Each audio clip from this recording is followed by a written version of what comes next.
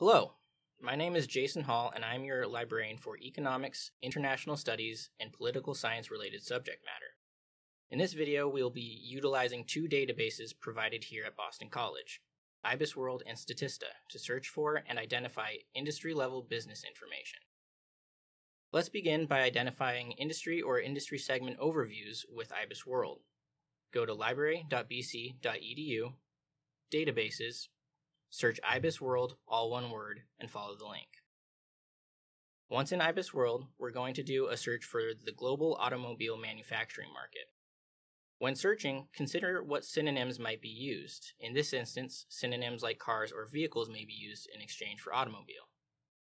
Check out our previous videos using DataAxle and FactSet for more examples of this.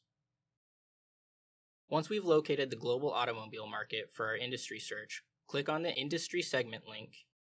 Here you'll get a view of the industry at a glance with resources such as SWOT analyses, key trends and statistics, and industry performance and outlooks.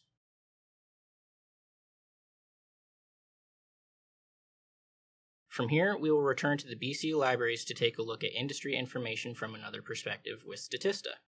Again, go to library.bc.edu, databases, Statista.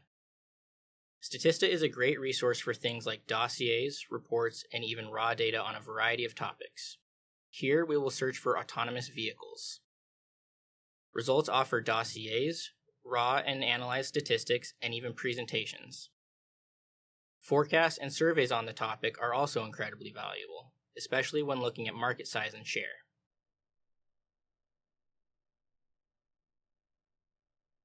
Now see what you can find for your own industry of interest.